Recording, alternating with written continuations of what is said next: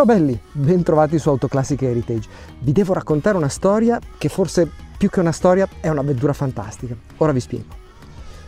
Intanto come vedete è anche tornata la Daimler, insomma. poi chi mi segue su Instagram sa che la macchina ha avuto qualche piccolo problemino, ma sono stati tutti brillantemente risolti in un posto straordinario dove succedono delle cose pazzesche, insomma lo vedrete meglio nel corso dei prossimi video, non vi voglio spoilerare troppo. Intanto la macchina è già aperta, fuori c'è bel tempo, io direi andiamo a farci un giro che vado avanti a raccontarvi la mia storia straordinaria. Voi intanto controllate di esservi iscritti al canale e sigla.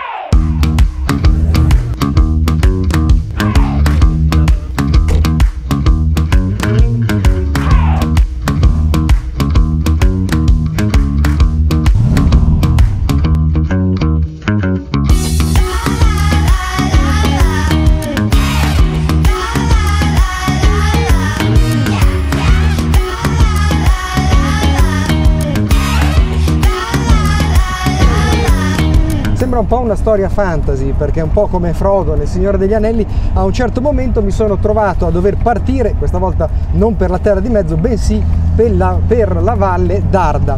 E qui quelli più nerd di voi che conoscono il Signore degli Anelli capiranno. Ma torniamo a noi, in questa valle esiste un paese che si chiama Vernasca. E qui ogni anno si svolge una manifestazione epica appunto che è la Vernasca Silver Flag è un evento veramente molto particolare, prendono parte un po' tutti quanti i tipi di, di auto, dalle stradali alle prototipo, alle monoposto, insomma, dalle, alle anteguerra, insomma ce n'è veramente per tutti i gusti. Una cosa che rende particolare la Vernasca è che oltre alle vetture ci sono anche degli ospiti molto importanti. Pensate che quest'anno tra gli altri c'era eh, Patrese, Jürgen Barnes, Thierry Bussen, eh, Mickey Biasson e fino a qui direte voi vabbè ok è il classico evento di automobili sportive con ospiti di primo livello ma la cosa che la rende particolare a mio avviso è proprio come è strutturata perché i, i piloti, eh, le persone che ci sono, le automobili che ci sono sono praticamente accanto a voi perché i box sono box, insomma box magari è una parola grossa, però diciamo che uh, le automobili e i piloti che vi partecipano sono in mezzo alla gente e questo è qualcosa di incredibile. Tu, tu puoi passeggiare uh, amabilmente per la città e vedere da una parte all'altra questi grandi piloti che si mettono lì a sistemare le loro automobili accanto a dei collezionisti e tu puoi vedere tutto quanto come se fosse la cosa più normale del mondo. Io direi che per un appassionato di automobili storiche o automobili sportive in genere è una cosa a dir poco senza pari, veramente incredibile. E un'altra cosa veramente molto bella che mi è piaciuta molto e che permette alla gente, passatemi il termine, eh, normale, agli appassionati, eh, di avvicinarsi ancora di più, è che voi potete tranquillamente avvicinare queste persone, insomma, e con garbo magari fargli qualche domanda, eh, chiacchierare, curiosare, insomma, è qualcosa che a me non è capitato di vedere in altri posti, io lo trovo veramente fantastico da questo punto di vista. Pensate che poi oltretutto non ci sono solo questi grandi piloti, vi dico solo questa, mi, mi, sono trovato a passeggiare lì in mezzo tra una cosa e l'altra e mentre cercavo di raccattare la lingua perché non mi nascondo che ogni 2x3 ce l'avevo in terra, mi sono trovato accanto l'ingegner Limone. Dice chi è l'ingegner Limone? Ma è il papà della Lancia 037, un personaggio epico, un ingegnere che ha fatto la storia dell'automobilismo. Scusatemi se è poco. E quando vi dico che vi potete fermare a fare due chiacchiere, io così ho fatto. È stato talmente gentile, poi l'ho anche un po' provocato, gli ho chiesto addirittura cosa ne pensava delle automobili elettriche. Ah, non mi credete? Guardate voi stessi. Mi viene da chiedere il fatto che ancora oggi la 037 sia considerata da tutti eh, una chimera quasi, un punto di arrivo, eh, qualcosa ancora da imitare. Che effetto ah, fa? Perché secondo me perché era sostanzialmente basata su concetti semplici, cioè massima escursione, cioè eh, delle sospensioni, eh, una facile riparabilità del veicolo, manutenzione molto molto molto molto semplice, fatta per vincere eh, ma per poter anche intervenire per renderla vincente in gara. In quegli anni ecco, che non c'era l'elettronica che ti aiutava a risolvere problemi, bisogna essere capaci, non è che non dico che sia semplice, però allora giocavi solo con la meccanica, cioè non c'erano l'elettronica era applicata in maniera marginale all'accensione del motore, l'iniezione è ancora meccanica. Voglio un po' provocarla, ma delle auto elettriche? Oddio. Allora, io ricordo ero ragazzino, il comune di Torino usava degli autocarri elettrici, dei lancia elettrici. Eh, sicuramente per le zone urbane è un fatto da considerare, che sia la soluzione tocca sana per l'ambiente o qualche dubbio, perché se poi come in Polonia fanno la corrente con le centrali a carbone, l'auto è anche un'espressione, il possesso di un'auto è ancora qualcosa che gratifica. È giusto per l'auto sportiva tenersi il suo bel motore endotermico? Di sicuro, cioè, direi che l'auto sportiva che è un confronto, eh, l'auto da corsa mi pare sia scimmiottare un po', cioè le, le work car elettriche, ibride, le VRC elettriche, fa sorridere, cioè, giusto per dire che sono... Compitino fatto. Eh, competito, tra l'altro gruppo da parte ibrido uguale per tutti. Necessariamente c'è il confronto, devi ridurre i margini di confronto, altrimenti vai con dei costi enormi, costi sviluppo enormi. Il motore più affascinante di tutti? Il, il, motore affascinante è quello che non si guasta, non dà problemi. Visto un vero gentiluomo di altri tempi, direi anche di ingegneristico buonsenso. Straordinario. Comunque, parlando di auto elettriche, Lancia Stratos. sì, quella vera, eh, non la Lancia Stratos. Ce n'erano lì diverse, devo dire, ma una mi ha colpito in modo particolare. Pensate che andava a biocarburante. E come andava? Ad ogni modo, come avete visto, insomma, girando tra i box eh, tendoni, chiamiamoli così, ce n'è davvero da impazzire, dalla Miura alle Ferrari, poi cos'altro c'era? Abarth, ce n'era quante ne volevate, Alfa Romeo, più di quelle che riuscite a contare, straordinario. Un tendone in particolare mi ha colpito che era quello degli sponsor Maserati Uh, lì oltre chiaramente a una meravigliosa esposizione di Maserati classico ho anche trovato chi ha avuto la buona pace di mettersi lì e di spiegarmi in che cosa consiste il uh, programma Maserati Classic. Davvero molto interessante, guardate. Maserati Classiche è un ente eh, relativamente giovane in Maserati ehm, che si avvale dell'utilizzo di tutto il background storico che eh, per fortuna Maserati può vantare. E eh, Maserati Classiche ehm, articola il proprio programma su tre diversi servizi. Un servizio di certificazione di autenticità per le vetture classiche più o meno moderne o, o, o storiche, un programma eh, di ricostruzione dei componenti storici e l'assistenza al restauro per i clienti che desiderano fare restauri più o meno approfonditi delle proprie Maserati. Ma voi il restauro lo seguite dalla A alla Z, quindi avete martellatori, motori, come funziona? No, in realtà no e secondo me è un atto dovuto a chi ha eh, la vera professionalità e vera maestranza. Noi come Maserati possiamo eh, come, dire, come base fornire informazioni legate alla vettura, come è stata costruita, con che abbinamenti, colori, okay. optional, particolarità eccetera, fino a proseguire al supporto come project manager di un vero e proprio restauro, dove però la parte motore e powertrain viene fatta internamente a Maserati, mentre invece per tutto il resto, che chiaramente è estremamente importante, quindi il restauro della tutelaio, la carrozzeria, l'impianto elettrico, gli interni, ci avvaliamo di partner consolidati che ripeto sono loro i veri owner di questa professionalità di cui è corretto avvalersi per far sì che poi in modo congiunto la vettura torni ad essere nel suo pieno splendore. Fantastico, quindi cuore Maserati e poi insomma il rispetto del, degli artigiani che orbitano intorno a questo mondo. Fantastico. Comunque, non so voi, ma io dopo tutte queste chiacchiere, seppur interessantissime, ho sete. Ovviamente ho sete di motori, di benzina, di baccano. E quindi cosa c'è di meglio che qualche accensione di motore e qualche strappo alla partenza? Guardate, rinfrescatevi con me.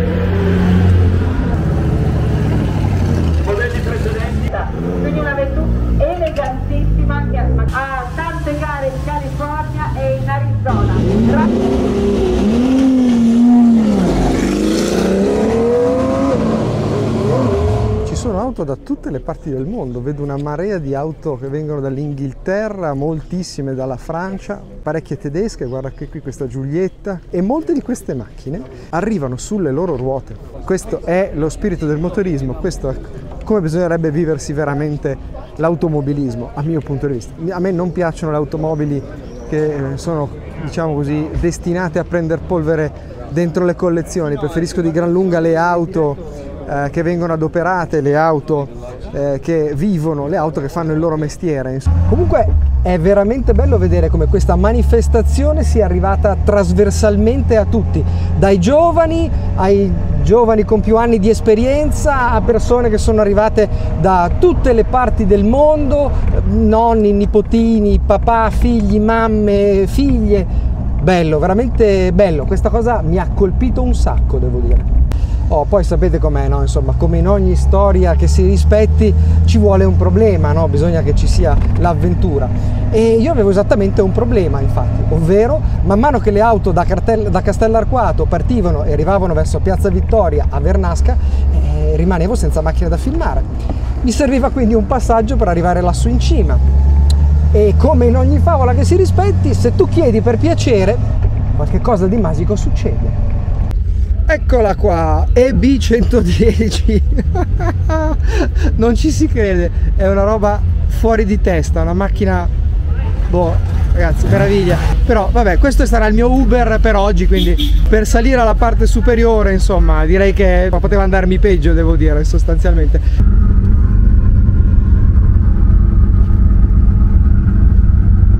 Rilassato? Tantissimo. Perfetto.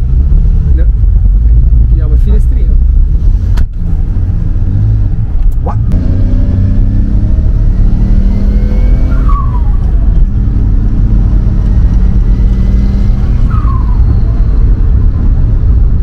È anche comoda nei dossi, cioè pazzesco.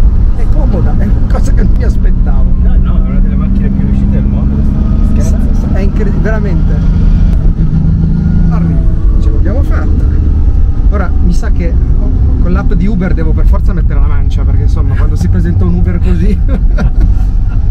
Vedi tu, uno- questi paesini qua, uno adesso si ferma, va a prendere un caffettino, un gelato. Ti immagini la signora del bar? Uno si presenta con questa. Ma poi la cosa che mi colpisce è anche l'eleganza, perché pur essendo comunque estrema, c'è tutti gli interni in pelle, la radica, insomma, non si fa mancare niente. È una signora questa.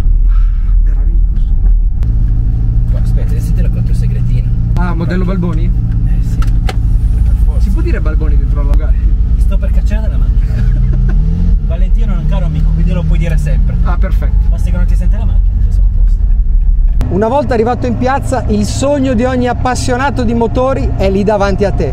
Una accanto all'altra prendevano posto, si parcheggiavano tutte in maniera più o meno ordinata e soprattutto con buona pace dei piloti più esuberanti. Dopodiché riuscite più o meno a recuperare il minimo di sanità mentale perché potete capire che insomma lì in mezzo non è che fossi proprio al 100% delle mie facoltà mentali e forse questo un po' mi ha aiutato, sono riuscito letteralmente a rapire Jürgen Barnes e a fargli qualche domanda. Lui non solo è un pilota eccezionale, ma diciamo che ha anche scritto una delle pagine più importanti della storia della 24 ore di Le Mans, insomma un personaggio veramente veramente di grande spessore. Sono riuscito a farmi spiegare secondo lui qual è il modo migliore per guidare la Porsche 917 LH che aveva portato lì, se mai mi dovesse capitare di guidarla. because he used to drive the car like a modern car, which means coming to the corner, putting full the brake, and then all of a sudden the car is moving all over the place. The real driving in the 917, understanding the aerodynamic and understanding the car, means that you, uh, when you come to a braking point, you have to first lift the accelerator, leave the car coming down, Ok, and then starting braking, and then it stays in line. ok, I You understand. understand? E come se questo non fosse già abbastanza, è anche riuscito a darmi qualche piccolo suggerimento culinario. Discutibile, ma qualche suggerimento culinario. I was worried to get sick of Italian food. so they went down to Sicily with uh, sausage and things like this. So I mixed it now, making my spaghettis with a Stuttgarter uh, uh, sausage uh, Würstchen and mixing it up, and that's it takes uh, t- tastes uh, fantastic, you know. Ora chiaramente golosi che non siete altro vi ho fatto vedere giusto un assaggino di quella che è stata l'intervista con uh, Jürgen. Anche perché tutta arriverà completa in un altro video dove vi voglio raccontare meglio la sua storia e la storia di questa macchina che insomma a livello di follie se la giocava con la GT40 ovviamente. E beh insomma adesso vedremo cosa riuscirò a combinare. Anzi vedrete Pensate che prima che tutto finisse sono riuscito anche a intervistare il presidente della Vernasca Silver Flag, una persona squisita, un gentiluomo d'altri tempi direi, eh, forse una di quelle poche persone come si usava una volta, insomma uno di quelli che, ecco, direi così, che più, più che sangue nelle vene deve avere proprio solo che benzina. Eh, sono un po' di anni che riusciamo a avere vetture effettivamente che difficilmente si vedono, si vedono ad altre manifestazioni italiane forse perché appunto in questi, tutti questi anni abbiamo seminato tra appassionati, tra collezionisti a cui interessa fare muovere le vetture e insomma abbiamo un, un parterre del Roi non da ridere. Poi quest'anno effettivamente abbiamo avuto alcuni, alcune icone della storia dell'automobilismo sportivo. Un concorso di eleganza sì è bello, però non ti dà l'emozione che puoi provare quando senti quelle macchine in moto. Per cui noi l'abbiamo chiamato concorso dinamico appunto per dare questa idea di dinamicità, cioè le vetture, specialmente quelle da corsa che, hanno, che raccontano una storia magari di 50, 60, 80 anni fa, fatte di Targa Florio, di Circuito del Mugello, di 24 ore di Le Mans, di mille miglia. Sì, sono belle viste su un prato, tutto belle ordinate, ma sono belle, sono meravigliose sentirle in moto e sentirle fare quello per cui erano nate, cioè rombare. Eh, l'emozione che si prova vicino a una Stratos, vicino a una Bugatti che sta andando, che sale, eh, secondo me eh, non ha pari. Ci sono le, le Abarth, ci sono le Bugatti che insomma vanno a benzina e vanno a Castrol, per cui proprio quando partono, alcune no, ma alcune si lasciano proprio dietro la frore delle, delle gare degli anni 60 e degli anni 50. È straordinario. Poi il percorso di per sé è immerso in una cornice, diciamo, pittoresca e, e dir poco. Mm, è un percorso, se vogliamo, bello, il classico il climbing all'inglese, però portato sui colli piacentini, insomma. È un po' tutto l'insieme che rende questa manifestazione un evento per cui moltissima gente quando viene effettivamente a vedere per la prima volta ti dice non credevo che fosse una cosa così meravigliosa. Sì, ehm, sì, confermo. Anzi, dovreste metterlo quasi come slogan. Come slogan. Non crederete ai vostri es- occhi. Esatto, esatto, proprio, direi proprio di Ragazzi, intanto vi dico che la Daimler sta andando che è un orologio svizzero meraviglioso, sono entusiasta mi godo ancora un po' il giretto e le ultime cose ve le dico di qua, anzi no, ve le dico di là. La Silver è finita, è stata un tour de force, macchine, motori, profumi, eh, piloti, eh, interviste, ho fatto il diavolo a 4, è stata un'esperienza straordinaria, mi sono divertito eh, tantissimo se vi capita venite a fare un giro vi lascio tutti i link qua sotto in descrizione perché è veramente un'esperienza da fare Ragazzi, che cosa vi devo dire? Se il video vi è piaciuto, like e condividete. Uh, ci vediamo su Instagram, ci sentiamo su Telegram e come al solito, chi non si iscrive al canale è un sacrificio.